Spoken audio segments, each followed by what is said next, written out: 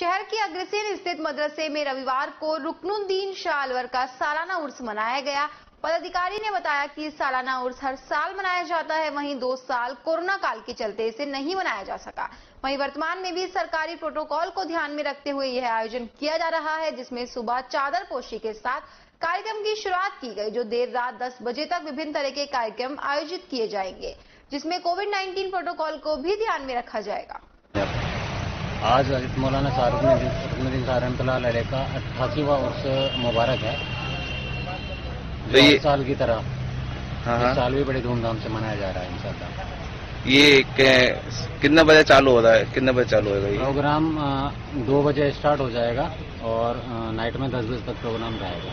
इसमें विशेष क्या रहेगा? इसमें हमारे पीरो मुर्शिद प्रोफेसर मोहम्मद हुसैन अहमद कादरी साहब तशरीफ़ ला रहे हैं और उनके अलावा मुफ्ती जिसान साहब रामपुर से आ रहे हैं और मोहम्मद उमर नईमी साहब चतुर्वेदी आ रहे हैं यहाँ पे। क्या नाम है आपका? जी, क्या दायित्व है? मेरा नाम अहमद साबिर कादरी है। और क्या दायित्व है आपका यहाँ पे? मेरा यहाँ दायित्व है दरगाह शरीफ में अंदर व्यवस्था संभालना। ठीक। प्रोग्राम रखा जा रहा है हमारा जो प्रोग्राम है हज़रत रुकनुद्दीन साहब साहब अलवरी का जो उर्स है वो अट्ठासीवा उर्स मनाया जा रहा है। हर साल मनाया जाता है ये।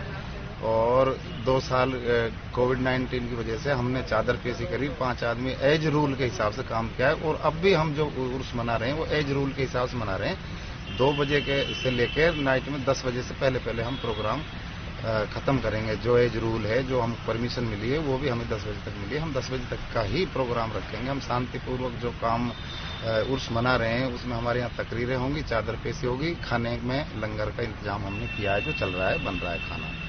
खाने में हम जर्दा बिरयानी मटर बिरयानी बनाते हैं जो सर्व समाज के लोग भी आते हैं यहाँ। सभी जातों से आते हैं और सभी जिस खाने के लंगर को चखें। क्या नाम है आपका? मेरा फत्तू खान नाम है और मैं इस दरगाह कमेटी का अध्यक्ष हूँ।